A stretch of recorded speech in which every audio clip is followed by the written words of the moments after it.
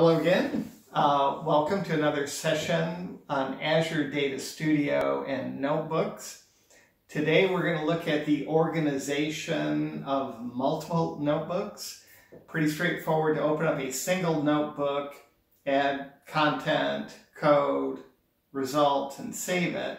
But what if you wanted to orchestrate several notebooks into maybe chapters, more content than you want to put in a single notebook, but have them essentially bound together.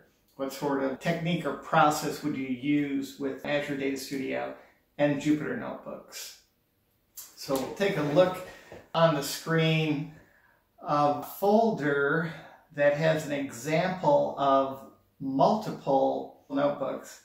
And so we'll take a look at the highest level of the notebook, notice you have an underscore data folder, you have a content folder, config YAML, and then uh, requirements.txt.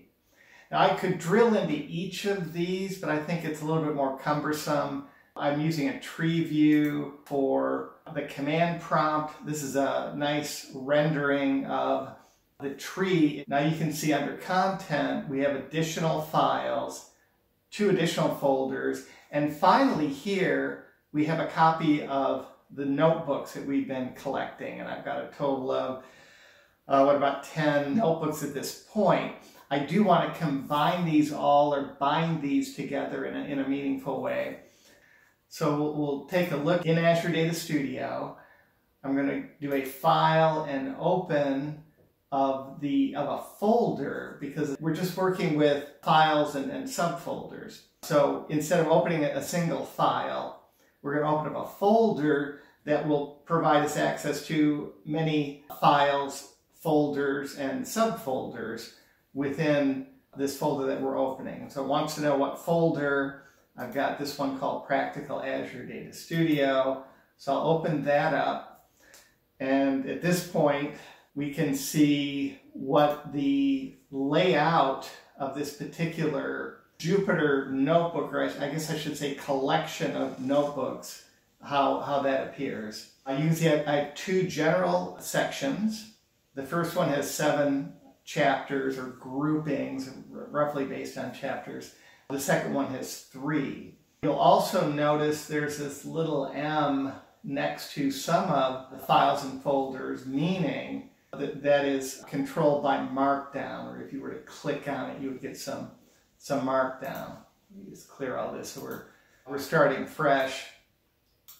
So if we start by clicking on Welcome, notice that's an M, this is a Markdown file, and it's going to pop up with the Markdown as well as, which includes a couple of links to the two sections that I have. So the first question that you might have is how do you get this table of contents? This is actually driven by a YAML file, and the YAML file itself contains the table of contents that is used for rendering.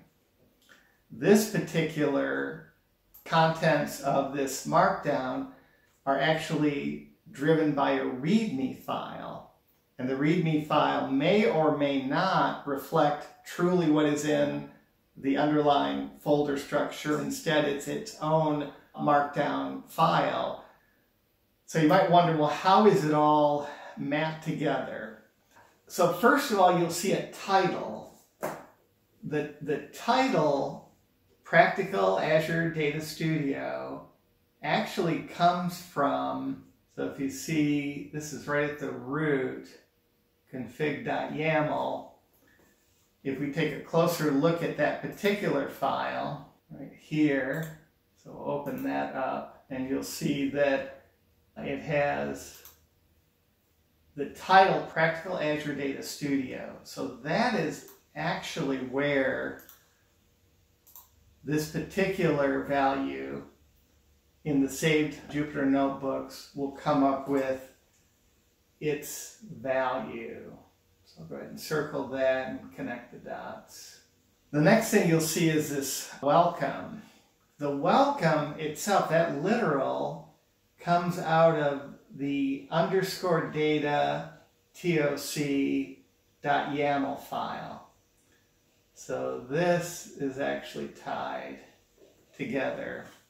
And we can take a quick look at that. We go into the underscore data and look at this file. You'll see that title is welcome. Welcome is actually what you will see inside of Azure Data Studio, but that's not all. You'll notice that underneath that you have a title followed by indented titles. Each would have a URL or a link to the actual file that we have within our tree structure in, in our, our, our windows. All right, so also this uh, table of contents is responsible for what you're seeing here in terms of the layout. As a side note, you'll notice that this particular table of contents YAML file does go into all the specifics of the title that you would like to present and the actual link or the URL, in this case to a, to a local folder. So finally, the, the README files, and the README file would control what you see on links. So for example, by clicking welcome, this is a README file that will show you the contents of this. So this particular README file, which is directly in the contents pointing to the deep dive and, and the landscape, is coming out of this particular README file. So all these contents come from here. And then you'll see another README file underneath in these two subdirectories, deep dive and landscape, those would control what you see after clicking within a subfolder. So in summary, there are really three things to be concerned with. One is the folder structure. There are the table of contents, which will give you the rendering by clicking on the Jupyter notebooks.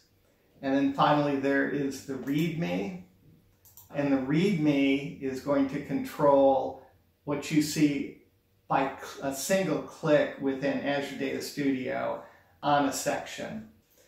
So hopefully that has opened your eyes to what's involved with having multiple notebooks, how you tie them all together, and how probably a tool to aid in this navigation would come in handy. Thanks for watching.